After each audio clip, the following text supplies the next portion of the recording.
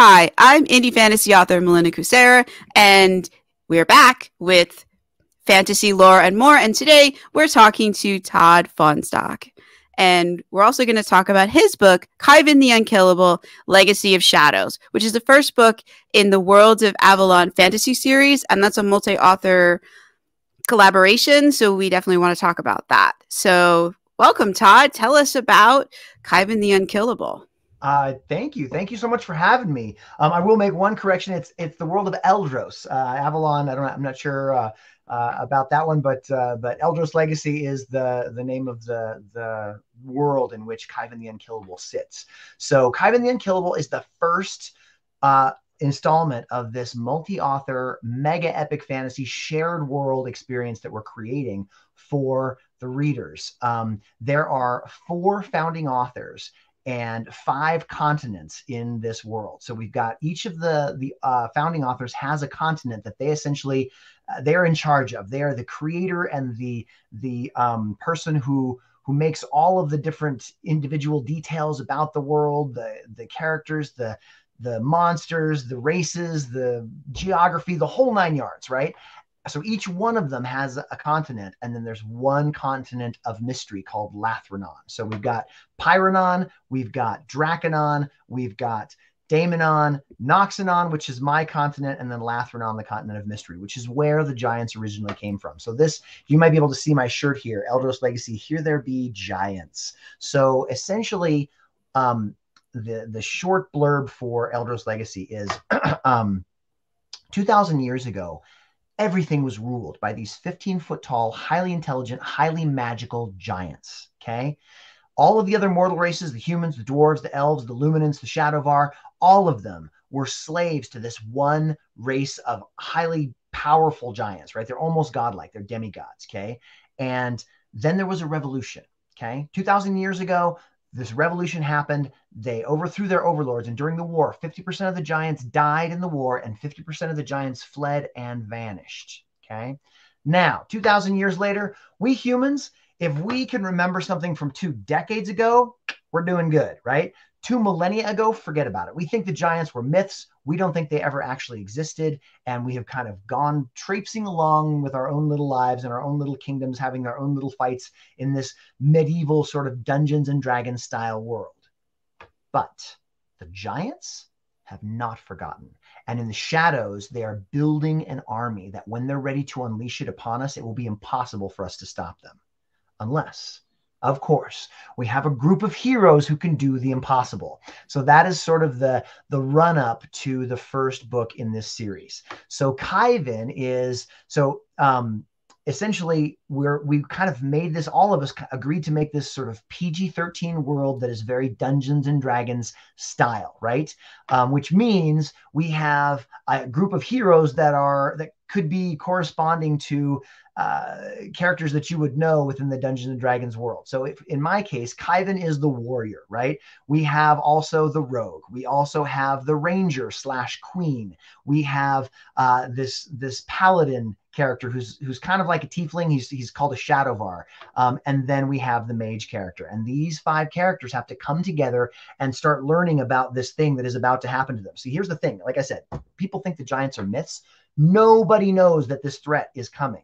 Um, and that's exactly the way the Giants want it because they got their butts kicked 2,000 years ago and they shouldn't have. Right? There's a reason why we overthrew them. There's this this fifth business character that has been moving things behind the scenes against the giants that want to kill us. And that is the only reason we escaped total obliteration 2000 years ago. So now it's coming again. And this, this fifth business character who is a giant himself, who has decided he's going to betray his own kind to try and preserve the fact that um, preserve the, the, the mortals, the humans, dwarves, elves, all those races, preserve their right to exist, essentially.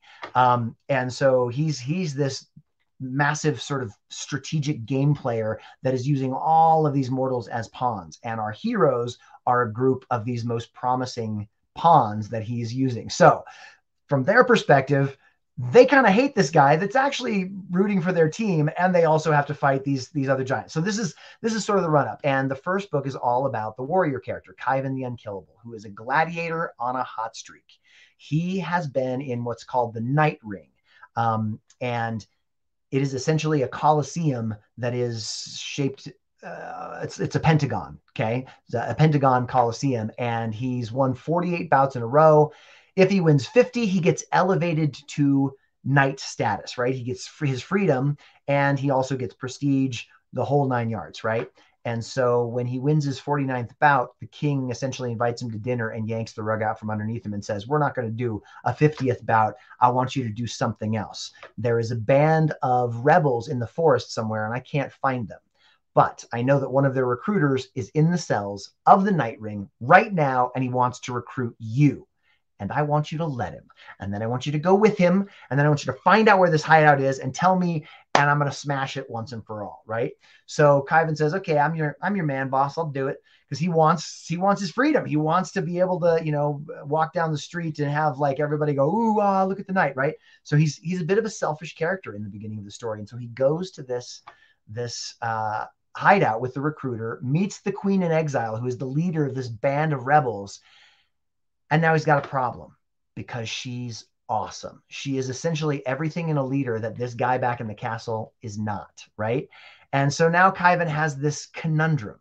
Either he can turn her over, like essentially like betray her, go back to uh, the castle, get everything he's ever wanted, and smash out this rebellion forever, or he can join a lost cause. I won't say any more about that. Um, that's kind of the the setup to the first book. But like the first book is all about his life, and it's sort of on the micro level, right? It's like him and his relationships with these people and all this stuff. But none of them have any idea that this war is coming towards them like you know a falling stone, and there's no way to avoid it. And they they just they're not aware of it at this point. So, anyways, that's this somewhat short encapsulation of Eldros Legacy in the beginning. Now, to, to extend that just a little bit further, this is just on the continent of Noxanon, my continent. On the other continents, each of the founders is building something similar. They have their own array of giants that want to squash them in their own configuration, and they've got their own party of people that needs to uh, you know stop this and at, at about book four or five all of this is going to start coming together and our characters will meet and then there'll be this huge throw the ring into mount doom you know battle for gondor kind of of of ending right? Where it's all going to come together. So that's that's what we're doing. And in addition to all that if that wasn't enough we have guest authors, which we call cohort authors. They're not founders, but they have come in to play in our world in some some place or another. Now, some of these stories may have very close ties to the meta plot about the giants, and some of them may be completely separate. Like they have nothing to do with the meta plot. They're just on this part of the continent doing their own little thing, and they have their own little story that happens. It's a beginning, middle, and end, and it's done. So these fun little jaunts in different areas of um, the world of Eldros. So that's that's the project. We've got 11 books at this point. You can check it out on Amazon, um, or actually, even better yet, at eldroslegacy.com. We're selling them directly through the website at this point. So you can check it out at eldroslegacy.com. The whole, like, there's, there's, at this point, three stories in Legacy of Shadows, which is my uh, story on Noxanon. There's a story in each of the other uh, continents, the, the founders' continents, and then there's a whole bunch of cohort stories in every single continent that there is. So, that is so cool. I, I'm like, it's checking all the boxes. I I love all that stuff. I, I, mean, I write epic fantasy. Obviously, I love all that stuff. And and listeners, the links will all be in the description, so you don't have to like uh, pull over the car if you're driving or stop your workouts and try to write these things down. We will have all the links in the show notes, so don't worry about that. Can we hear an excerpt? Because now oh, I'm really absolutely. excited. But can we absolutely. meet Khyven? All right. Well, let me introduce you to Khyven. All right. I got it right here. Give me just a second. All right. Khyven the Unkillable, Chapter 1. Khyven. Two knights threw open the door of the tavern, and the scent of last night's rain blew in with them. Khyven heard their boots thump on the rough planks, heard the creak of leather and clink of chainmail as they shifted. He sat with his back to them, but he didn't need to see them to know where they were. The room went silent. This dockside drinking hole didn't see knights very often, and their appearance had rendered uh, their the place, the entire place, speechless. That was respect. That was what being a knight meant in the kingdom of Usara. They paused just inside the threshold, perhaps hoping to spook the fearful. But Khyven wasn't a jumper. He had more in common with the newcomers than those who fled from them. Isla, the pretty barmaid sitting across from him, looked past Khyven, her eyes wide. She had been a lively conversationalist a moment ago, and he'd been daydreaming about what it would be like to kiss those lips. Now she looked like an alley cat who'd spotted an alley dog. Reflexively, um, sorry, I wanted to kill that thing. Hang on just a second. lost my lost my place. Reflexively, she stood up, the wooden stool scraping loudly on the floor. She froze, perhaps realizing belatedly that when the powerful, the predators, were in the room, it was best not to draw attention to yourself. Khyven heard the metallic rustle of the fighter's chainmail and Isla's face drained of color. He envisioned the alley dogs turning at the sound, focusing on her. She needn't have worried. They weren't here for her or any other patron of the Mariner's Rest. They were here for Khyven. He had killed a man in the night ring two days ago, and not just any man, a duke's son. The entitled whelp had actually been a talented swordsman, but his ambition had outstripped his skill, and the night ring was an unforgiving place to discover such a weakness. After Khyven had run the boy through, Duke Berecourt had sworn revenge. No doubt he had been waiting for an opportunity to find Khyven alone, vulnerable, to send in his butcher knights. Men like these, sent to enforce a lord's will or show his displeasure, were called butcher knights. Usually of the lowest caste, Knights of the Steel, butcher knights didn't chase glory on the battlefield or renown in the night ring.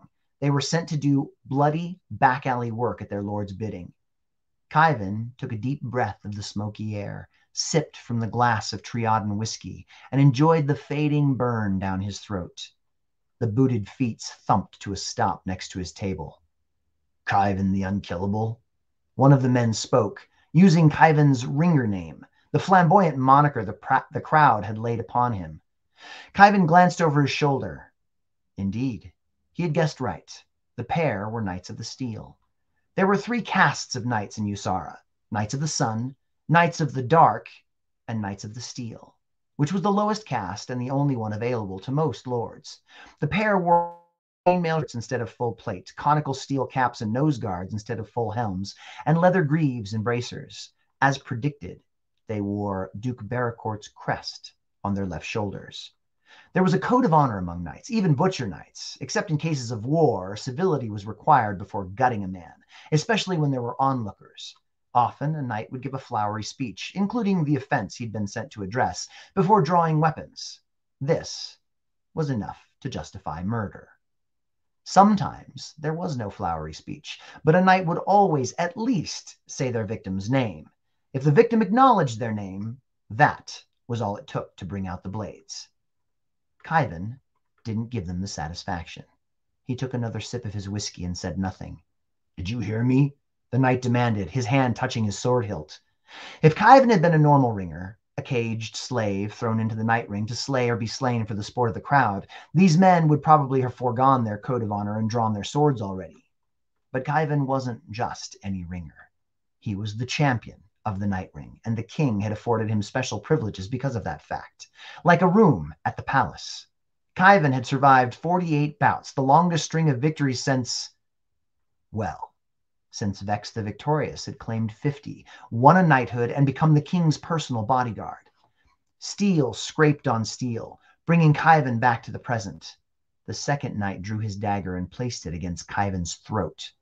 Isla gasped and backed away. You think you're protected, the second knight growled in Khyven's ear. You're not. Of course, if Khyven didn't acknowledge his name, there were other ways for the Butcher Knights to start the fight. If Khyven attacked them, for example, they could retaliate. The powerful could always push a victim into a corner when they needed to. That's what the powerful did. Khyven had learned that long ago. That was why, when Khyven had won his 40th bout and his freedom from the night ring, he'd continued fighting, risking his life in every bloody bout, for the prize at the end of 10 more bouts, for the power that would come with it. When Khyven won his 50th, he would be elevated to knighthood, just like Vex the Victorious, and no one would look at him as a victim again. The blade broke the skin, just barely, and a bead of blood trickled down Khyven's neck. His pulse quickened. The familiar euphoria filled him, the rush of pleasure that came with the threat of death. The euphoria brought vision, and Khyven saw with new eyes, his battle eyes. He saw his foe's strengths and weaknesses as a swirling, blue colored wind. You are Khyven the Unkillable, the man breathed in his ear. Khyven chuckled. The second knight's face turned red. He slashed, but Khyven was already moving. He shoved his palm against the man's fist, arresting the strike. The blade nicked Khyven's neck, but that wasn't enough. That wasn't nearly enough. Khyven twisted his assailant's fist, and the man grunted in pain. The dagger fell into Khyven's right hand. The euphoria sang through him, and he saw how this fight would go. The blue wind would show him where he must strike, where his enemies would try to strike. Khyven shoved the dagger's flat steel pommel underneath the knight's nose guard. The heavy steel jammed into that painful spot just below the man's nose, right above his teeth. Bone crunched. The knight stumbled back with a cry, hands flying to his face and knocking his helm askew. His legs wobbled and gave out while Khyven delicately pinched the pommel of the falling man's sheathed sword between two fingers, lifting it from its scabbard. With an outraged cry, the first knight pulled his blade and lunged.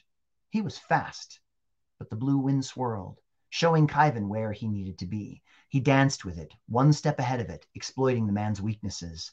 Khyven's new opponent was left handed, which gave him an advantage against those who didn't expect it. Also, he was fast. Those were his strengths, but he leaned on them like a crutch, and that, in itself, was a weakness. The man thrust at Khyven, a clean, straight strike. Khyven twisted, let the blade come within an inch of him. It licked past his chest like a snake's tongue as he slid inside the man's guard. This close, swordsmanship didn't matter. Belly to belly with the stunned knight, Khyven wrapped his arm around his foe's sword arm and wrenched upward. The man gasped, jumping onto his tiptoes to escape the joint lock. His sword clanged to the ground. Khyven kneed him in the groin.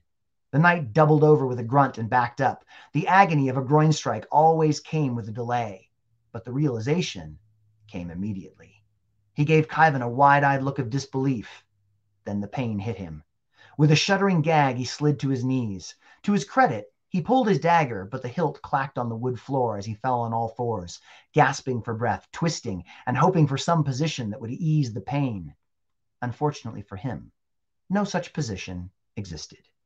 The first knight collapsed onto his side, groaning pitifully. Khyven picked up the man's sword and added it to his collection. By this time, the second knight had staggered to his feet, helmet lopsided, nose broken, blood pouring down his chin. He blinked one eye and then the other like he was trying to get at least one of them to work correctly. Khyven tossed the dagger hilt first at Broken Nose, who yelped and dodged. The dagger hit the bar and thunked to the floor. Well done, Khyven said. Try again. He offered the man's sword next, hilt first. Broken Nose stared at it like it was a rainbow colored snake. Khyven raised an eyebrow. Yes? No? Would you like it back? The knight took the sword with a shaking hand. Khyven dropped the other blade next to Kneed in the groin, who was still doubled up, hands cradling his jewels. The euphoria faded, the blue wind vanished, and Khyven let out a breath. He walked back to the stool, sat down, picked up his glass of Triaden whiskey, and winked at Isla. Khyven was always surrounded by enemies, but that was a good thing. If you remembered that everyone was your enemy, you were never surprised when they attacked. A shuffling step behind him told him that Broken Nose had regained some of his courage and, just maybe, was thinking about jumping back into the fray. Come at me again, Khyven said darkly, and I'll pretend we're in the night ring. The shuffling steps stopped. Go back to Duke Berecourt and tell him that his son chose his path and that he fought well. The Duke shouldn't sully that with back alley theatrics. Khyven paused for a breathless moment, the whiskey halfway to his lips as he listened for what choice the knight would make. There were several awkward thumps as Kneed in the groin got painfully to his feet, but Broken Nose didn't come any closer. They were afraid of him now. That is power, Khyven thought. It's the only thing that ensures safety, the only thing that really matters in the end. He downed the rest of his whiskey and stood. A smile had begun on Isla's pretty face. He nodded to her, much as he'd like to explore what that smile might avail him. It was time for bout 49. It was time for Khyven to do what he did best. Gentlemen, he said to the butcher knights as he stepped around them and walked to the door. That's chapter one. Wow, that that was an action-packed chapter. Edge of your seat, epic fantasy. That's what I write. That's what I write. no, I like it. That's that's kind of my favorite type to read. Oh, cool. Well, if you like fast-paced fantasy, that's what I do. That's what I do. And it opens with a bang. I mean, this is chapter one. There's a prologue that comes before this that kind of sets the sort of 10 year stage as to like where the where the plot's going to go. But this is this is the one that kicks things off. This is how we get to know Khyven just a little bit. I see. So you summarized the prologue for us before reading us this chapter. Well, in fact, no. I summarized oh. the meta plot of like the entire shebang. The prologue. So I'll give I'll give you a little quick summary if you want of the prologue. So yeah, 10 years, 10 years ago, um, uh, Baron Vamrith staged a coup and killed the king, the queen, their four sons and daughters, and tried to kill their fifth and youngest daughter, who escaped. She's the one that's in the, the woods now, 10 years later, that is organizing this rebellion. Okay, so that's the that's the meta plot startup. Is is he essentially uh, kills everybody in the castle except the uh, the daughter um, and her best friend, who is the Luminant, uh, which are elves. So everything in Noxanon is based on light and dark. Okay. Um, there are these places called the Noktum where um, once upon a time the entire continent was covered with this spell that's called the Noktum, which everything is pitch black and there are monsters in there. But at one point, this thing called the Lux was thrown into the mix of it and essentially exploded most of it. So there's still a big, huge cluster in the center of the continent and then splatters of Noktums everywhere else that could be anywhere from 10 feet wide to, you know, a thousand miles wide, right? I mean, like it's it just depends on where you are. And so um, uh, luminants were created by the giants. Almost every race, except for humans who were indigenous, was created by giants experimenting with the genetic genetic possibility of humans and creating these other things. Like so, dwarves, which are called delvers in this world, elves, which are called luminants in this world, shadowvar, which are, are sort of the tieflings of this world, um, as well as a number of other races. There's a minotaur race and um, the Demaios, which is another human race. Anyways, all of them were created by the giants to have special properties in the dark. And luminants, when they get emotional, their hair glows. It's this magical light, right? Um, and so they can, like, if their hair is is dark black, it will glow purple, right? If their hair is, you know, bright blonde, it will glow golden, right? So, so like these, Galadriel.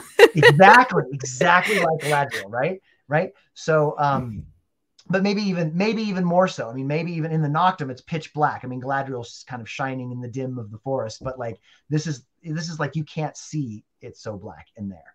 Um, and you actually can't take natural lights because, like I said, there are monsters in there, and if they the natural light hurts them, you bring in a torch into the Noktum, they are going to see you, they're going to charge you, they're going to attack you, they're going to eat you. If you go in with a magical light, you know you probably got a chance to make it a certain distance before they find you and eat you. Um, but uh, if you bring in like natural light, they're going to kill you right away. So luminants were created to work in the dark, and so that's her best friend, and they both plunge into the Noktum, which nobody's been in in years and years and years, hundreds of years. You know, you don't go into the Noktum; it's a surefire death sentence. And so he forces them into the Noktum and assumes that they're eaten. Well, ten years later, somehow they survived, and they formed a rebellion, and they want to overthrow him. So that's the prologue chapter do we get the how she survived? Because that sounds like a really interesting story. And do these Noktums move around or are they uh, stuck uh, in one place? They are stuck in one place for now. But um, so yeah, they do not move around. And yes, the entire story, I'm glad you asked that. Um, I did a short story called The Darkest Door and is on eldroslegacy.com as well. You can find that short story. Um, you can get that short story, which shows Ren's um, uh, sort of her origin story. Ren and Lorelle. Ren is the the daughter of the king, and Lorelle is the um, the Luminant. Wow. That sounds like a really cool story. I'm going to have to check that out after this. Um, you should definitely check it out. You'll enjoy it. Like I said, if you like that first chapter, you're going to love the book. It's, it's, there's a lot of that in there. I mean, there's definitely some world building where we kind of slow down a little bit and kind of start, you know, making the, uh, making the full painting, you know, the, the entire mm-hmm. canvas. But uh, Khyven, Khyven's he's a fast thinker and he's a fast actor. it's like pretty much in his world, it's like if it's safe, then great, I'll be happy. And if it's not safe, well, I'm going to try and kill it. Is kind of his his attitude. Um, so it's working for him. I mean, he's won 49 fights, so yeah, it's clearly yeah. working for him. That philosophy. Yes, yes. Until, of course, you know, he comes upon something that can't be fixed by killing it. You know, that's that, of course we always the heroes always have to face something that is their Achilles heel. So yeah, that they definitely do, and it's so he's going to come up against something that he can't kill, a problem well, that can't wanna, be solved by death. I'm guessing. I don't want to throw in too many spoilers. Um, okay, um, nope, that's fair. He will be put to the test. There's no question. Nope, that's fair. I love the the what you're talking about the light and dark. I do a lot of that in my epic fantasy, but it, yeah. it sounds like we're both heavily influenced by Tolkien, as are a lot of epic fantasy authors. So that's no big spoiler there. And yeah, he did use a lot of dark and light imagery. Mm-hmm. You know, I mm-hmm. like the idea of like the the Noktum.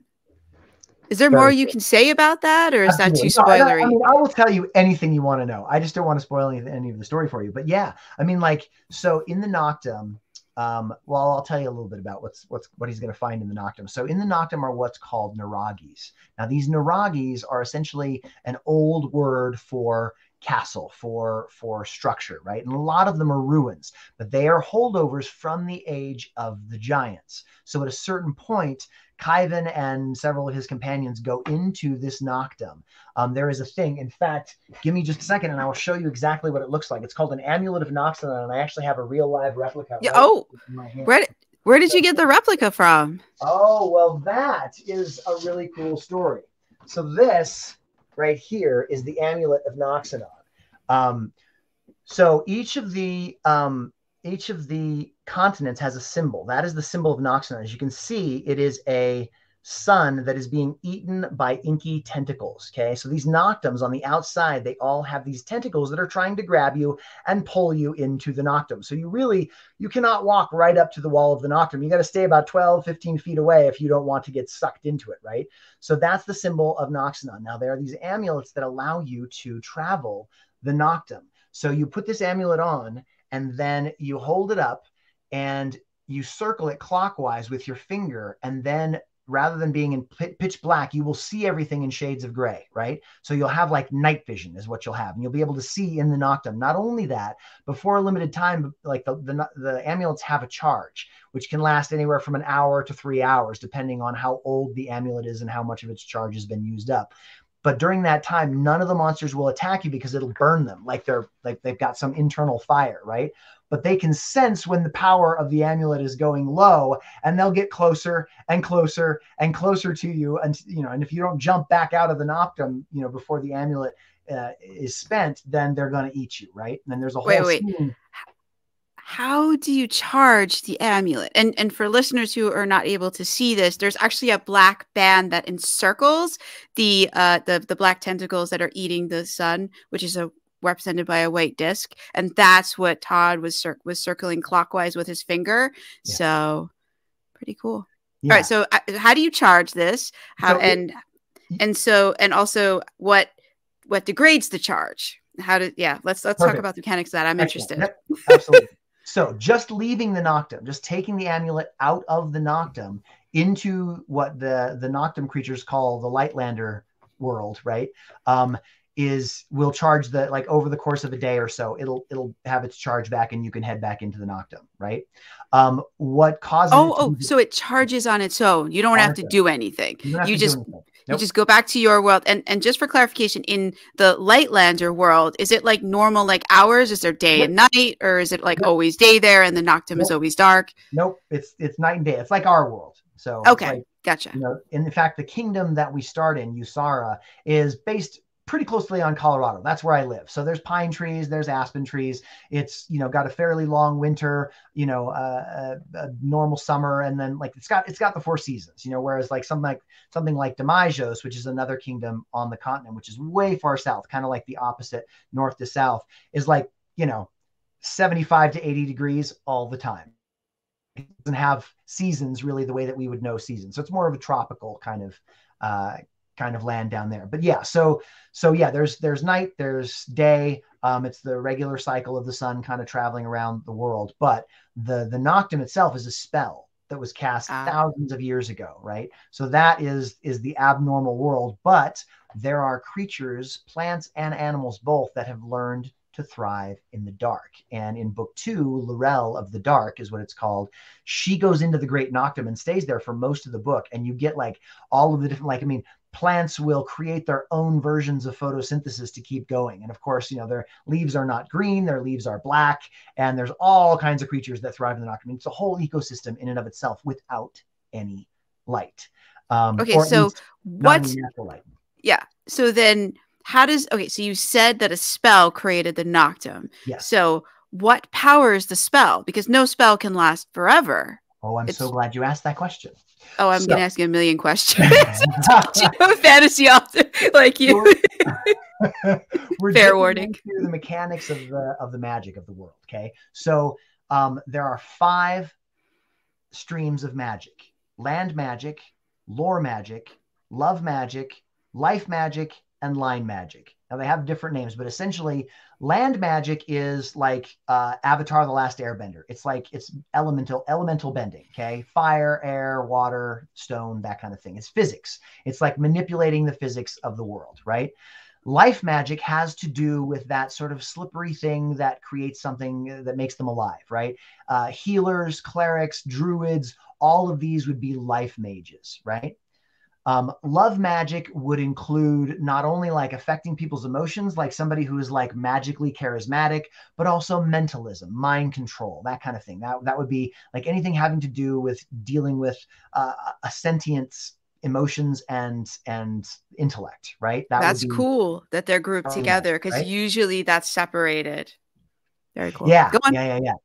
So um and then uh what did i do? I did land life i did love um, so lore magic is essentially what Gandalf does, right? I mean, like rarely Gandalf did something like create the big shield as the Balrog is like hitting him with the sword, but most of the time, what Gandalf did, aside from a little bit of light in Moria here and there, was he's always in the right place at the right time, right? His, his always, power motivational speech. yes, exactly. He's in that crux moment that may be some quiet little moment off to the side of the main events mm-hmm. of the world. But in doing that, he sets a hobbit in motion that will then govern the fate of all, right? Like he's, and lore magic is a limited version of seeing the future. So what lore mages do is they see these things called the chiroi. And the chiroi are the lines of fate that run through everything. In some places, the chiroi are thick and important, and some places they are thin and, you know, largely irrelevant.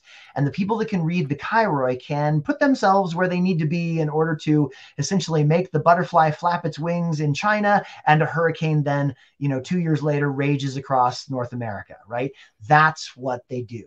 Um, well, and then one exception to that, and this is that they gave me the rules of this. The Bible of this was like something that I came into largely.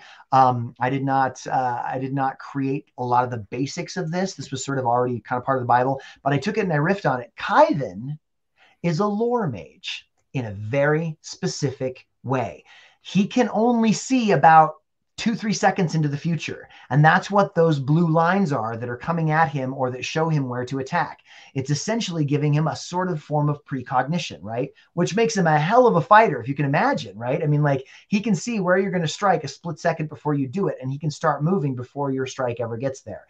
That's lore magic. And he has no idea that that's what he has at this point. So that's a little bit of a spoiler. He has no idea that this is what's happening to him. He calls it, as you noted in the chapter, probably his battle sense, like his battle eyes. Like when things start happening, he just gets into battle mode, or at least that's how he sees it. How, so how he, so he doesn't realize that he has something extra that other people don't have. Nope. Nope. And that's it's an interesting cool. moment, like a couple books down the way, when he realizes that's what it is. He's like, Khyven decided he was going to do this one legitimately, and he really tried to ignore the blue lines. He was going to fight this guy man to man. You know, I mean, like he he tries to you know avoid using the the cheat of his power because it, it really does give him an enormous advantage, right?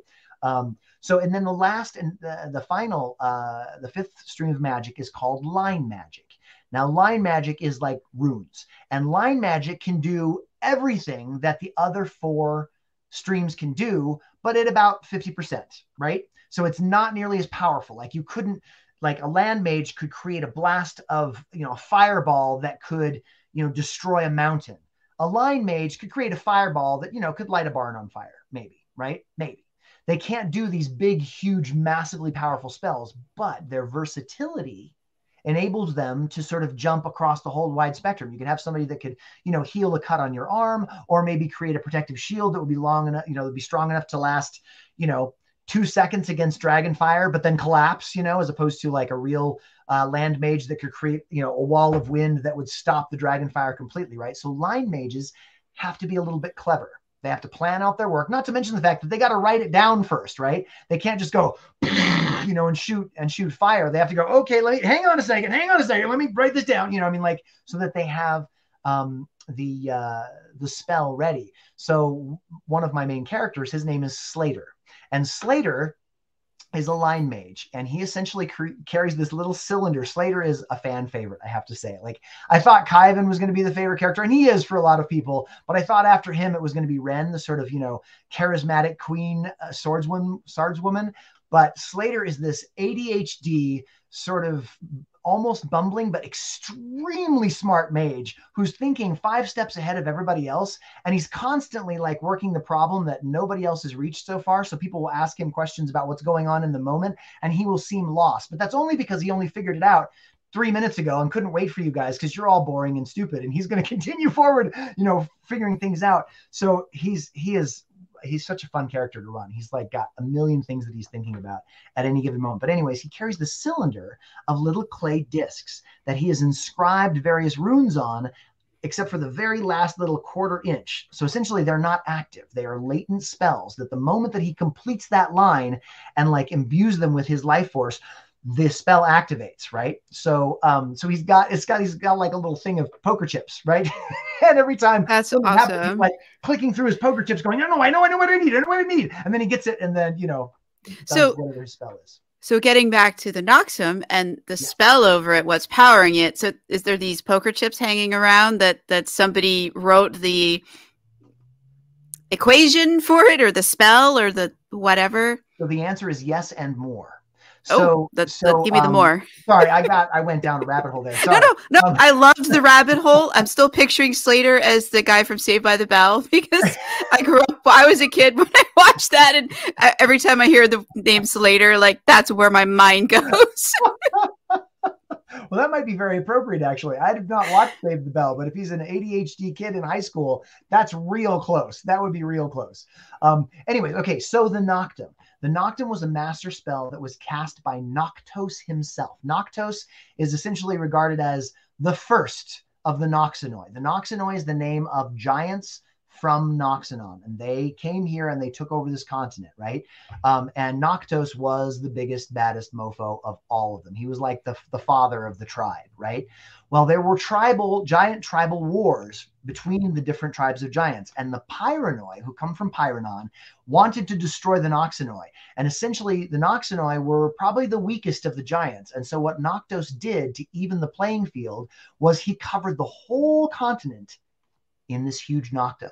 And essentially, before he did that, he made all of these advantages for his Noxenoi and for all mortals, like the luminance, being able to see in the dark and all this sort of thing, before he cast the spell. Then he cast the spell, and anybody trying to invade is immediately going to be plunged into complete darkness and be at a com- horrible disadvantage, right? So he created the best home field advantage that there was. When the Pyranoi tried to fix this. Essentially, what they did was they threw a sun. It's called the Lux, and they threw it right in the middle of the continent to explode and destroy the Noktum.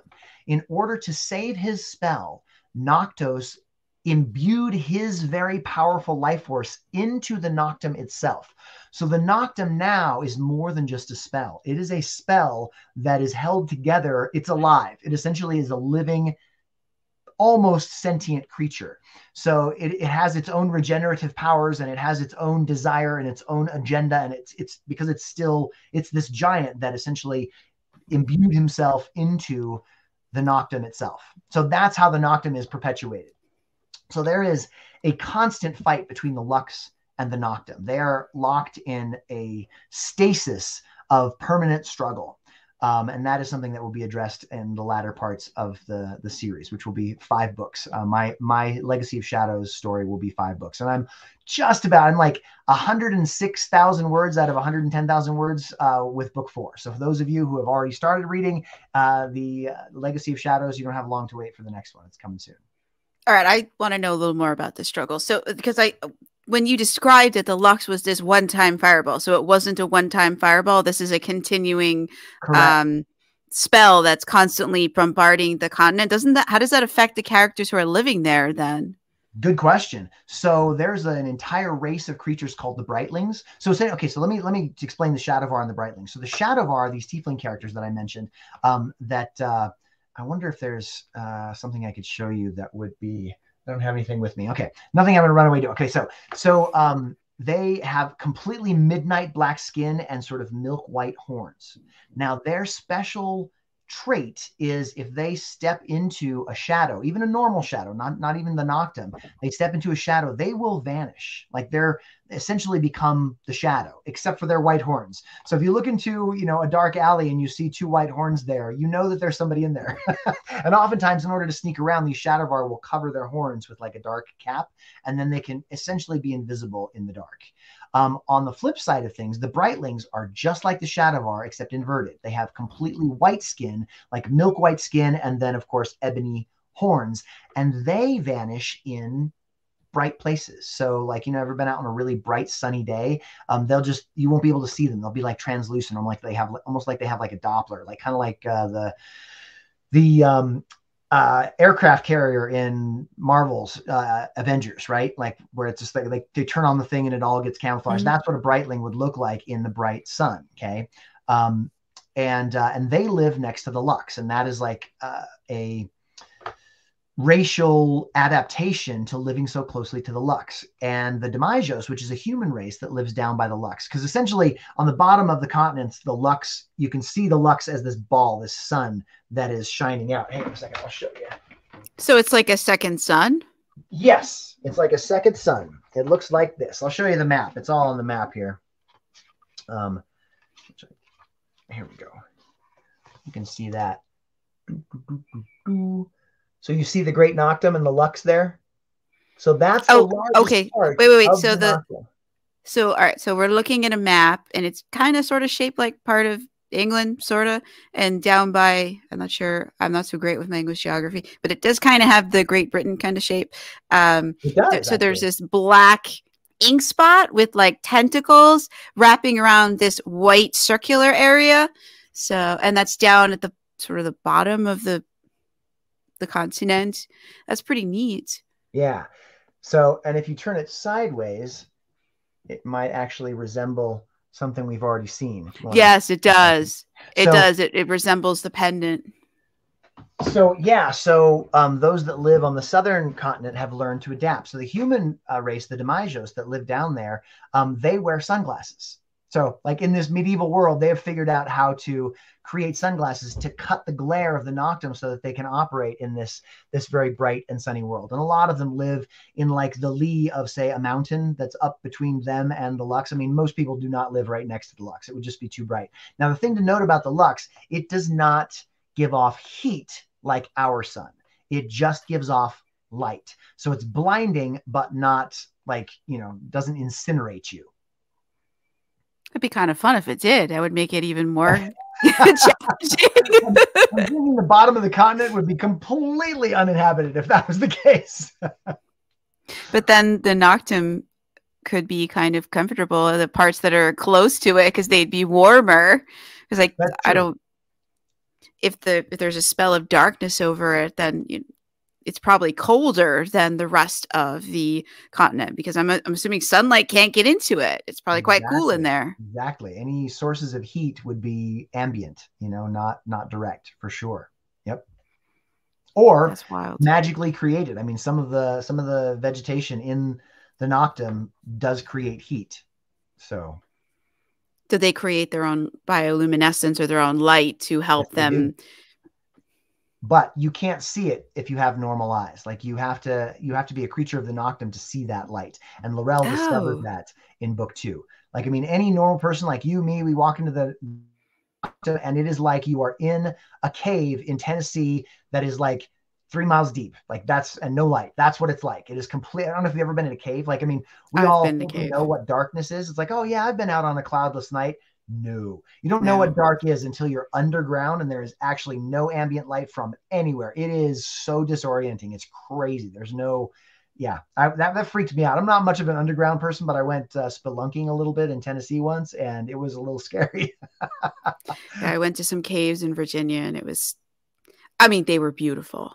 Yeah. But, and there's also some caves upstate in New York where I live, and that's the one where I experienced the complete darkness. It was really, you haven't it. It's a whole other level of darkness. Right. Exactly. That was exactly yeah. that. Like if you so, haven't done that, you can't know. Yeah. No. But now I'm wondering, like, because there's all right. I'm a I'm a ridiculous fan of science too, as and I as well as epic fantasy. So I'm wondering now if the mechanics of why you can't see it is maybe they're seeing x-ray or different because you know our eyes suck. We can't see like most of the light that's out there. Visible light is this very narrow band of the spectrum right. but there's a lot of other light outside of that x-rays gamma rays a whole bunch of other things eh, we can't see but other creatures in this world can. So I'm wondering if your world, if that's what they're seeing, if like if X-rays and other mm-hmm. infrared rays or other things are able to get into there, and if that's what they're actually seeing is in a different band.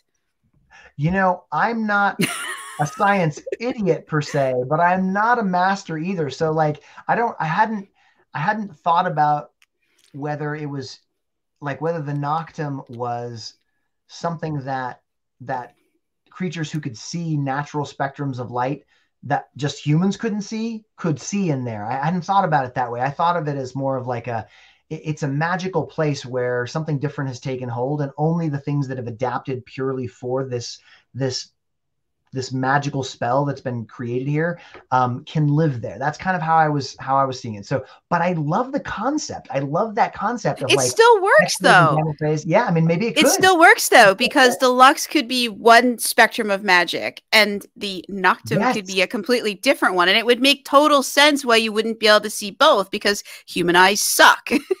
you can only see what you're genetically predisposed to see, and that is the narrow area that you are tied to. So either the lux or the noktum. So just help it still create, works. Yeah, I think you helped me just just help me create something like the brightlings. I haven't spent a lot of time thinking about them, but what if the brightlings like the reason that they're so well adapted to that area is that they actually can see in the lux. Like the rest of us are blind, but to them it's just a different spectrum and they can see through. I love that. Okay. That's so what was going through my head when you're talking about this. And I was like, I need I need to ask this because like I'm one of those ridiculous people who thinks about these things. well, that's awesome. I love it. I love it. So they would have chances would would the color of their irises matter at all as to what spectrums they could see because i'm thinking it'd be cool to have like something that was very yes yeah. I had to research this. Okay, so my I don't want to hijack this because this is all about your books. No, no, very briefly, I, I also write a lot about I have a light and dark based magic system and I write usually I write everything for one specific character, Sarin, who is an earth mage and his eyes glow green. And I have to constantly figure out like uh, you know, how does that affect what he sees? And so it would color shift what he sees because his eyes are green and they glow green very brightly. So he would everything he sees would have a green cast. Ah. So your brightlings might be seeing things with a cast as well. And he also has mage sight, but it's very particular to I, I'm not going to go into the complicated rules of magic in my world. I did it just, you know, for fun to make it it's more fun when you have all sorts of like complications and things you can't do and figuring out how to get around that. And but so he's got this mage sight and when he's looking at things with that, he's seeing in black and white and shades of green, and that's it. He's not seeing anything else when he's looking at the mage sight. So your brightlings could have something like that. Like when they're looking into their magical spectrum, they may not see it the way that we see it, or they may see it they may see it the way we see it but it's you know it's there could be some adaptation to keep it from being brighter because if you think about the human eye in bright light our pupils contract and you see a, your iris gets a lot bigger. Mm-hmm. and in darkness it's the opposite. Your iris practically disappears and your pupil takes over because you need to see better. So you could do stuff with that or you can add like extra things to their eyes because they're different animals that see in different spectrums and their eyes are very different from how eyes work So I would say maybe do a little bit of like research on that just for fun. And you might see some things that you can take and use from I do that because that's nature does a lot of really cool stuff. And like, why make it up when I can borrow it from nature? you know? yeah, no, absolutely. I love that. It kind of kicked me off into another idea that at a, at a certain, well, no, that's probably too much of a spoiler. But anyways, you gave me another idea. Oh, damn. Eventually, you'll, uh, you'll, uh, yeah, that's too much. It's too much of a spoiler. I can't. That's that's like something that doesn't happen until book four, the end of book four. So I don't want to, I don't want to ruin anything for anybody that might actually want to read the book. So I can't promise that I won't keep prying because that's my job interviewing you is Do to it, try and keep it. I can't promise that I'm going to hold secrets. to my party line. You know, I'm just, I, I, I get excited about it and I'll just start talking. Maybe, maybe the best we can do is just warn people on the podcast, like, oh, big spoilers coming, and you may want to shut down if you don't want to hear the spoilers. So I'll put a little warning that there might be spoilers. there may um, be spoilers. 'Cause- yeah, because so you want me to tell you then? You want me to tell you what happens at the end of book four? yes, but Okay. no, I mean we don't want to No. spoil it for readers. The whole point is to to to get them to come over and give that a try and fall in love with Khyven the Unkillable, or if not Khyven, then Slater, or I think you said her name was Ren, um, or the be interested in the Noktum and the Lux. I'm very interested in all of this. Um, I'm buying a copy immediately after this. Um, well, you'll have to let me know what you think. I will. I'm not sure when I'll get to it. I have uh, between my job and and I have so many interviews lined up, but it might be a few months before I get to it. But Well, I will warn you. very if you crack the curious. And you read more than like 30, 40 pages, I cannot be held responsible for uh, staying up late nights. You can't. You can't put that on me. I've, I've had so many uh, uh, people put up reviews saying like, okay, I started reading this at nine o'clock. It's now two o'clock and I need to go to sleep and I can't put the book down. So I've had that happen. So I just want to warn you, if you get into it, usually it takes about 30, 50 pages before it starts becoming the page turner that it is. Um, but it will keep you up. It will keep you up at night. Well, I'm gonna. I my I have some vision issues, so I'm gonna I'm gonna do it either through Google Play if it's available, or um, if I can get um, Amazon um, the Kindle uh, app to read it to me. Oh, okay. Because I, I can't read on screen for long periods of time anymore. Gotcha, like I, gotcha. I don't know if it's the eye stream from my job, but like I just find that the words start like blurring up, and so I've been doing a lot more of like the text to speech um, for things. Absolutely. They've got some pretty Yeah. sophisticated um, uh, text to speech programs these days. I'm so grateful for that because I love reading and I love audiobooks, but not all the books that I want to read are audiobooks. so I'm kind of yeah. stuck in this like my eyes won't let me read on screen. I want to read this book. Yeah. Yep. I hear you. Yeah. And it's something that that we indie authors are are dealing with across the board. I mean, some of us can afford to make audiobooks, some of us can't and have to try and make it ourselves. Yep. And you know, Yep, I've struggled with that. I have struggled that with that myself. Not all, uh, some of my books are on audiobook. Not all of them are on audiobook, and that's the reason. Yep. Uh, same. I, I, well, actually, mine are only available in um, digital narrated audiobooks on Google Play or my website. I I'm trying to narrate one of my own books, but I hate the sound of my voice, so it's very You challenging. got a good voice. You got a good Thank voice to books. Yeah, yeah. Every time I try to edit one of them or read them, there's all this drama in my head, like, oh, like you have to give this person a unique voice, and I'm like, how do I do that for all the characters? yeah yeah yes keeping the same like if you decide to affect an accent for one of your or or affect a t- type of you know turn phrase or or you know timbre of speech it's it's important to remember to do it the same because readers listeners will notice they'll notice the difference um And sometimes you So- can't remember. You're like, I, I don't. You get to that person's point dialogue, and you're like, I don't remember what I did for them. yep. Oftentimes I'll have to go back and listen and like even listen a few times until I've got it in my head. Then I go, okay, okay. Because like um, I've been I've been working on and it's it's not finished, but I've been working on the Khyven audiobook. I'm doing it myself. And and Vaughn, the Shadowvar, has a little sort of I'm not going to say that it's an English accent, but it's like kind of close. It's just like an, an affected speech. And then of course Slater talks, you know, talks very much like like a uh, uh, excited kid because he is pretty much most of the time. Um, uh, yeah, so so that's yeah, but but keeping it consistent is important for sure, for sure. and it's hard. Yeah, It's it's not easy. nope, nope. it's a, it's a, it's an adventure. It's a, it's a, it's definitely a, a journey and a whole lot of work. Whole lot of work. But you know, we're also audiobook fans, so that's why we want to do it. We want to try, yep. and maybe someday I will finish reading mine. I'm really wishing that the first book wasn't so damn long. it just, I mean, I love the story, but it's like I just keep looking at it. I'm like, why does the amount of pages I have to read not seem to be diminishing? what am I doing wrong? like I said, there's a whole lot of drama in the head when when I'm doing the these things. Is, yeah, once you get to the end of it, like when you finally get done with all the recording, you got to go back and you got to edit, and that mm-hmm. is the worst. I just, yes. oh man, it bores me so badly. It bores me so badly. Yeah, but you know, it's worth it. You know, yep. there there are a lot of people who need it, and a lot of people who want it. So it's it's worth it, and we're trying.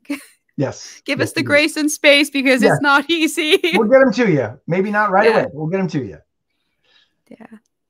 All right. So we need to go back to Khyven and the story, and because this is this is just cool.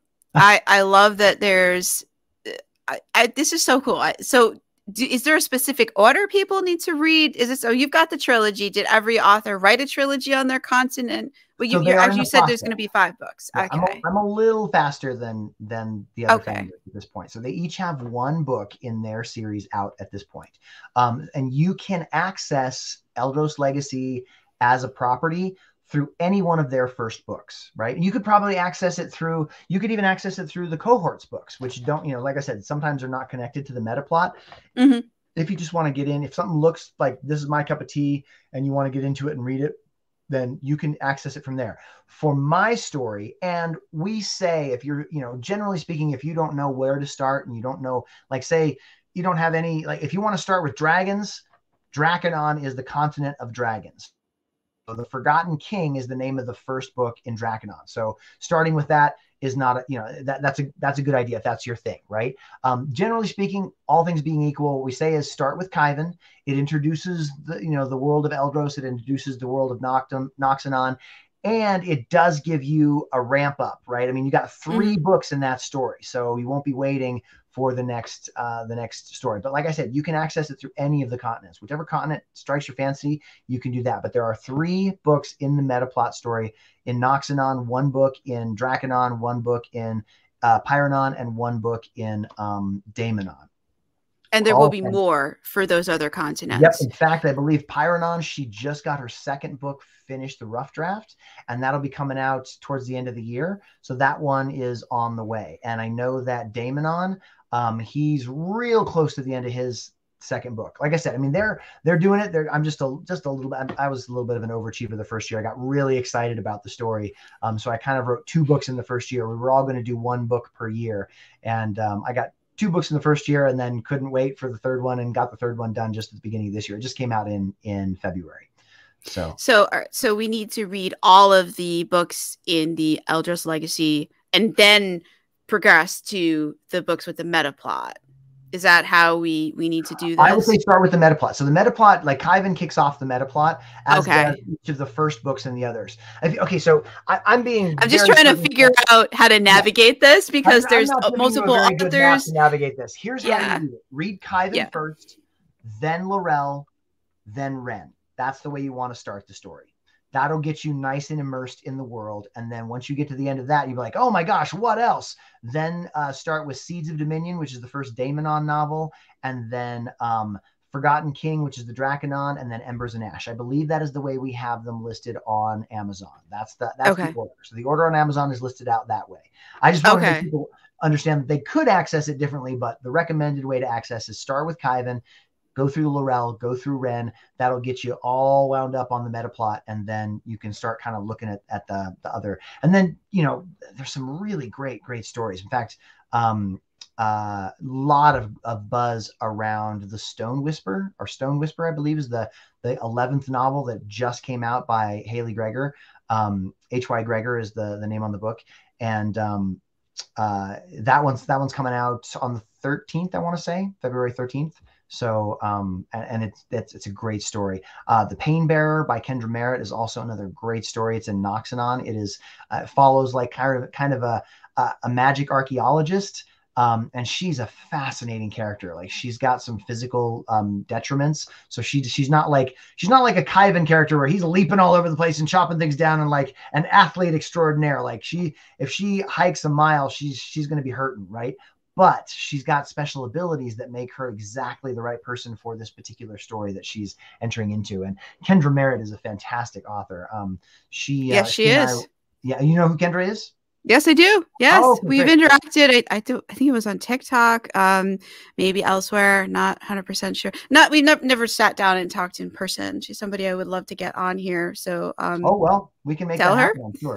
Yeah, I would love to get all the authors who are part of this on there. This is really interesting, and I would love to ask them lots of pointed questions and try and get yeah, spoilers. yeah, absolutely. and you'll get very different answers from what you'll get from me. Like I said, every continent is there. That's their baby right? And they get to make up the rules in that continent. Now, we have all agreed to adhere to certain structural rules like the magic system we all have the five streams of magic that is that is canon we all call giants eldroi that is the name mm-hmm. of giant in general a giant from noxanon is called noxanoi a giant from daemonon is called daemonoi pyranoi draconoi etc so those are all rules that we share, but you get into the races of each individual world, vastly different. Like you've got humans, everybody's got humans, but like Quincy, who does Daemonon, his elves are going to be called something else, and Mark's elves are going to be called something else, probably. Maybe they'll just call them elves, but that's totally up to them. So it's really kind of cool. I mean, one of the things that's great about this project is not only do we have different people writing in it, but everybody's got different style. It is all, we call it high fantasy, high epic fantasy, right?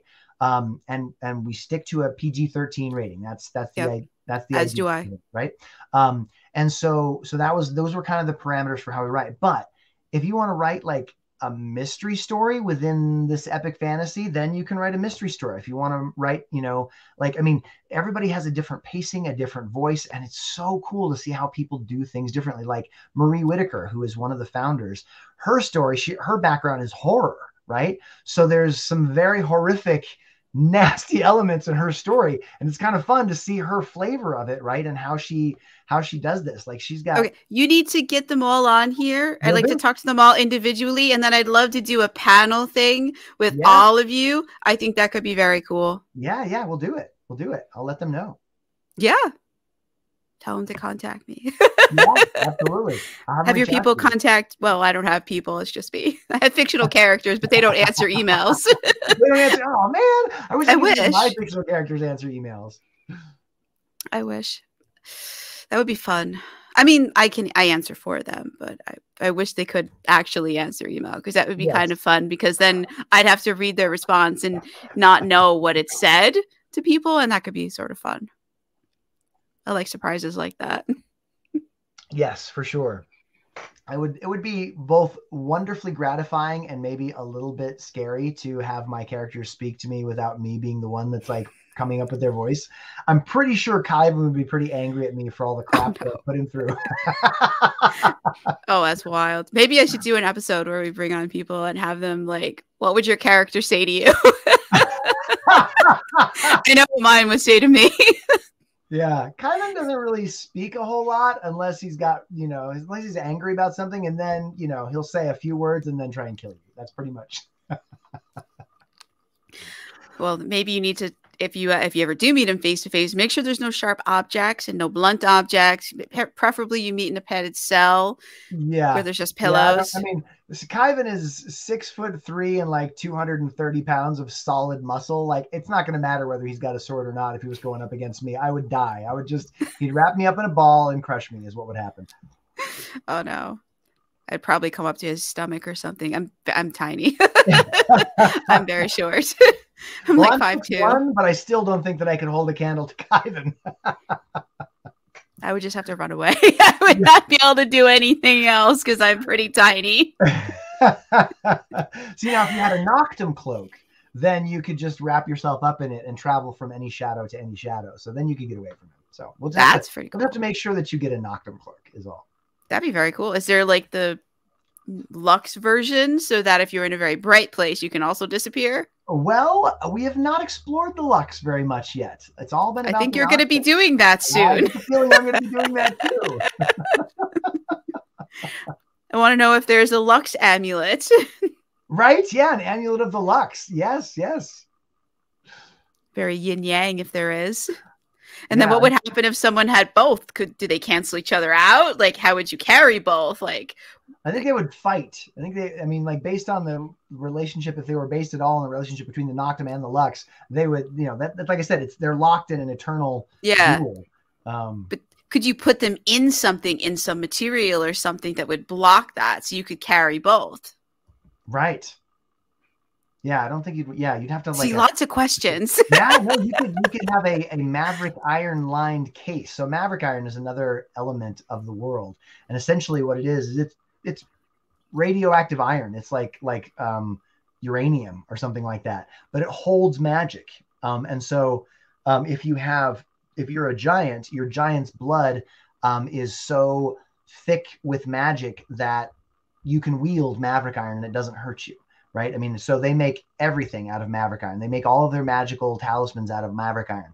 But if you're a human, there's a scene actually in Khyven the Unkillable where they go into the Niragi and one of the warriors gets this Maverick Iron sword and he picks it up and he's, it's like it's six foot long and the blade is like that wide, right? But he picks it up and he's like, this is like a feather. He's like, I could carve through armies with this. So he takes it home with him and uh, the next day the skin sloughs off his body the muscles are like yeah. you know, off his body because they're not you know you're not supposed to be around that stuff it's like radioactive isotope yep. that he's been handling and sleeping with and now he's dead right so um so that's that's an element of the world that's pretty cool this has been awesome and I, I hope that we can connect with some of the other that would be very oh, i would sure. love to do a little I don't know what we will call this series.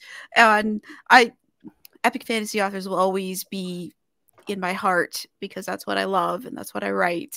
so oh, you all have well, a definitely if, we'll get it going. Yeah. So if any of you epic fantasy authors are listening to this, yeah, you're always welcome. Hit me up. I will try to get spoilers out of you as well and ask pointed questions about your lore because I'm interested. That's a promise. Maybe a threat too. I'm pretty inquiring.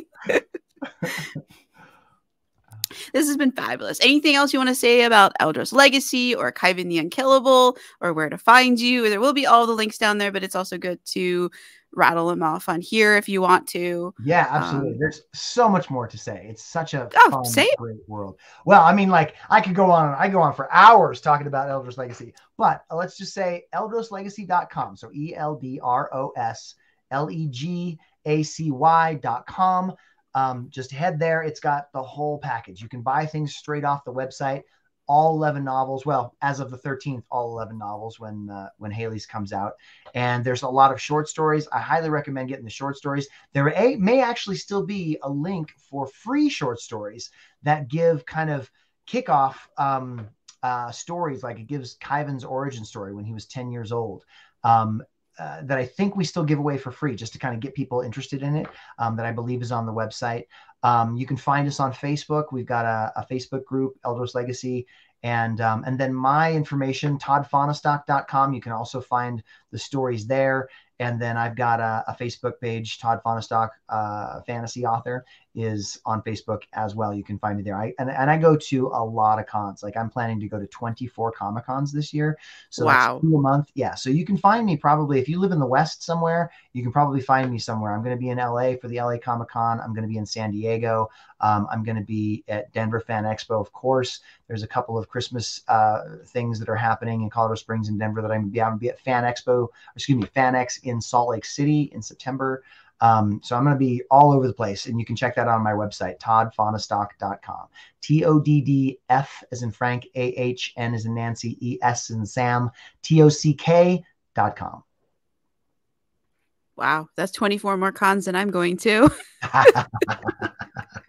it's kind of my thing. I like going to cons. I love meeting fans face to face. I've never been to a con. I need to so one of these days I'm going to get enough time off from work and go to a it's go as a regular person to them, not as an yeah. author. Just because I've never been. I'm in New York. I'm when oh, okay. I'm about an hour outside New York City. Oh, they got good con there. New York, They uh, New. York Comic Con is a good con. So But I'm always working. yeah, yeah, it's it's something. It's something to see. It's something to see. There's, I just, I always feel like it's very frantic on the one hand, and I'm I'm like right dead center between extrovert and introvert. So I can definitely go and be around the big crowds for a limited amount of time, and then at a certain point, I get I get kind of antsy. Like there's just too much. But I always feel welcomed at these places because I mean Comic Cons these days and fan cons are places where people can go and express themselves like loudly um, Right. with the way that they dress and what they're interested in. And everybody is so accepting. And I just, I got a real heart space for that. I love that. I mean, people show up in their costumes um, and walk around all day getting to be the person that they want to be for this entire day. And people just totally support it. It's a wonderful thing. It's really a wonderful thing. I love them. I'm at the whole other end of the spectrum. Like I'm an introvert. I'd probably be hiding under my blue cloak. Yeah, you know though, like I've found, like I've there there's some people that wear, as I'm sure you know, like some pretty risque costume costumes, Mm. right? And like I've talked to a few of them, and one of them I was like, so does it? Are you? Do you feel like kind of exposed? Because you kind of look like you're kind of exposed. And she was like, nope. I like this is the way that I hide. Like so so like it was such a strange turning of the facet, right? It's like this is the exact opposite of what I would be in my normal life, and so I'm coming here in disguise, you know. And I'm like, that just t- it took me a second to wrap my head around. It's like, wow, you know. I mean, like that is such a cool way of of looking at it, of of relating to something that probably terrifies her in her her normal life, but to come here and do that, she gets to be this person and kind of set herself outside of her mind and do something she would never do. I just I thought it was great. I thought it was so great. No, it, it is. I I used to go to Ren fairs a lot before my sister passed away. She was my constant companion at them. Uh, not as an author. I was there. I was there for the. I was there to watch the jousts. Mhm, I was there mhm. for all the entertainment. I was the person dragging her to all the different things, and she was like, "Do we really have to see this again? We saw the jousts last year." I was saying, I'm like, "I don't care. They might do It's something different. I don't care. I love these things. So, um, and people come there in a variety of crazy costumes. We used to go in costumes. Uh, it was so I, I understand that piece of it because Ren Fair, the New York Renaissance Fair, is on a whole whole other Yeah. level. Um, I've never been to any other Ren Fair, but it's is enormous. Um, and it's people come from York Ren Fair. all over to go Yeah. to it. So it's apparently it's a thing. It's a big thing. Yeah, Um, yeah. yeah. But you know, someday I, I, an introvert, I'm sorry, an extrovert will adopt me, and we will go to a con bec- so that I can be their shadow. Because that's that's my that's. Well, my if ever I'm at a con, if ever I'm at a con on the East Coast, you can come and see me. You can ha- you can hide behind the booth if you want. We'll give you we'll get you a uh, vendor pass, and you can just come and sit behind the booth and watch the world go by. There's a certain safety in having a booth. I have to tell you. Right. Like you can Oh, of like, have your own little space there. You know. But then you have to talk to people. well, you don't have to talk to people. I actually like to talk to people when I'm talking about my stories. Um, I have pitches like I did the Eldros pitch for you about the 2,000 years ago, Right. the world was ruled. I've got those for all of my books, and I I know them inside and out. And I love them. I still love telling them all the time. I like people getting interested in what it is that I do, and um, once I see their eyes light up, I'm like, "You're gonna like this. I can tell. I can tell you're gonna like it." I want to have that energy, but I'm very much like people ask me what about. I'm like, um, it's a book. it has a green cover. It's there's trees. There's an enchanted forest. like I completely like forget like everything about it, or I'll just rattle off like the rules of the enchanted forest because like that's it's always sitting there in the back of my mind because I have to keep that in mind for every book because every book I write is set in the same world, so it's the same rules for all of them. yeah, good. That's good. And you- and don't piss off the enchanted forest because it will kill you. So sentient, sentient, these sentient things that are like not necessarily humans. Like the Noktum is sentient like that. I love that. I love that stuff. uh some of the some of the enchanted trees are um very sentient and very intelligent and very magical and some of them are actually mages and can cast Ooh, I mean it gets yeah oh yeah the the queen of their country is a giant enchanted tree. Oh, I love that. I love that. She's not currently ruling it 'cause she doesn't really want to deal with any of the politics. It's a bunch of humans ruling it. They outlawed magic, but they can't do anything about her. The enchanted forest are kind of permanent fixtures. Ah, it's it's there's this eventually we're gonna have a war and and that'll all come to a head. But the characters have not just they don't want to do that yet. So um, I don't know when that will come, but that's somewhere in the future. they don't follow outlines, so I keep outlining it and they keep avoiding it. So I know when we're gonna get to that. Those characters are the best characters. They they take you to surprising places. I love that. Yeah, they're currently chasing dragons now in a book that wasn't supposed to exist. So I don't know where we're going in that one. I'm just along for the ride. I'm just I'm just chronicling their madness and their mayhem and all the things that they are doing because they burned the outline three books ago and we're in uncharted territory. Now. I feel you. I feel you. Yeah. I keep trying to be a plotter, but the characters won't let me, so I end up pantsing it all.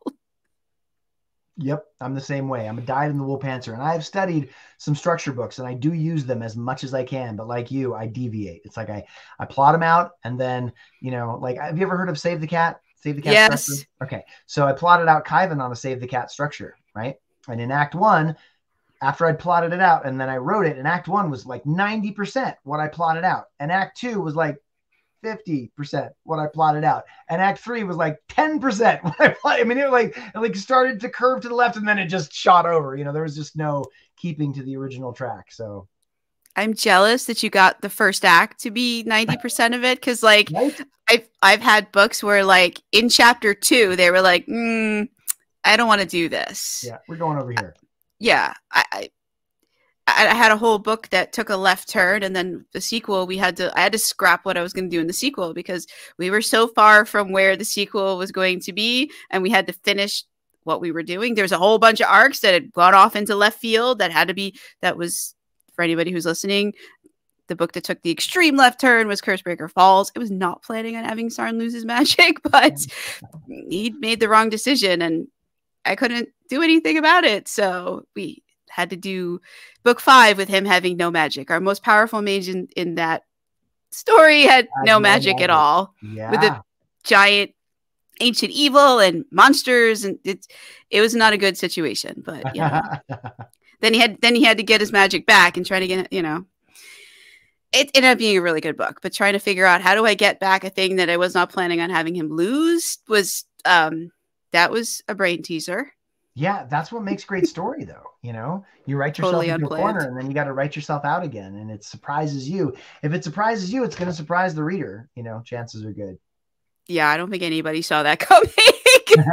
I didn't see it coming. There have been many moments like that. Um, many moments. Uh, at the end of book six was another moment where I had no idea how we were going to get out of that one. Thankfully, in book two, the we had the answer just show up randomly in a throwaway scene. Um, and I was rereading it. And I was like, ah, I've got the opposite, like literally sitting in the freaking river of this magical problem, and I forgot about it. So I love when stuff like that happens, where you can utilize something from books ago that was like, you know, sometimes we write these little threads that go nowhere. Yeah. Like, I don't know what that's going to do, but I'm just going to leave it there because I like yeah, it. Yeah. And then yeah, like it's cool. down the road, you're like, yep. that's what I need right now. And it can look yes. like I intended that to happen. And maybe, you know, who knows, maybe my subconscious did intend that to happen somehow. So I mean, sometimes I wonder, you know, they say kill your darlings, but there's some darlings that like we just can't bring ourselves to kill. And then you find out five books later that like that was the thing you needed. And you're like, yes, so glad I didn't cut that. Yep. Yep. I have had that be- happen too. Yeah, this has been fantastic. So um, we're we'll, we'll have Todd back. I'm sure you're you're a fast writer. I'm sure we will have you back again. You're always welcome, and we will have hopefully a blast. Yeah, and hopefully we'll have some more authors from the Eldros Legacy, and I would love to do some kind of panel thing with all of them. I think that could be great fun.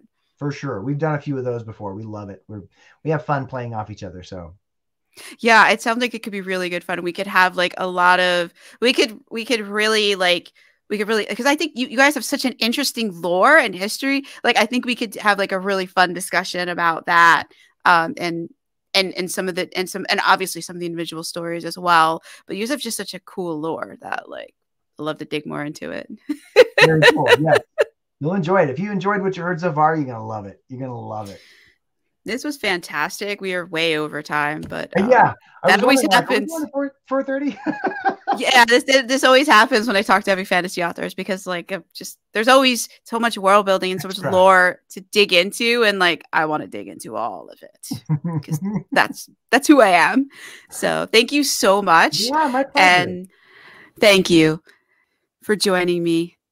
I'm Melinda Kucsera, an indie fantasy author, and thank you so much to our guests for coming on here. It means so much to me to talk to fellow entrants to the self-published fantasy blog off this year is number nine. 300 books can enter, 10 will reach the semifinals, and one will be crowned the winner. My book, Cursebreaker Enchanted, is of course in the running this year, and I'm very excited about that. So I hope you're cheering it along at home. And I also hope that our guest today, that their book also goes on to the semifinals. We won't find out for many months yet, as far as I know. This is my first time participating. So if we find out sooner, I'll let you know. And if you want to be more involved, you can join my community on Patreon, where all podcast episodes are released early, and you can read the 10th and the 11th book in the Cursebreaker series because I'm writing them both on there. And you'll get copies before anyone else, which gives you bragging rights, of course. And I'll have links to all of our guest books as well as mine in the show notes. And yeah, thank you so much. I will see you next time. And yes, if the sound is better this time, it's because I got a new microphone and number four is the winner, I guess.